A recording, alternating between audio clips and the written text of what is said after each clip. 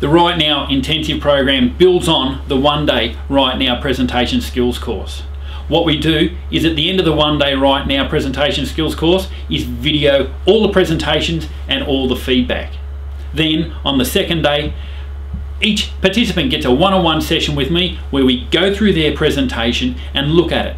When you see yourself on camera, you see how good you are and you also see, hey, I need to improve in these areas.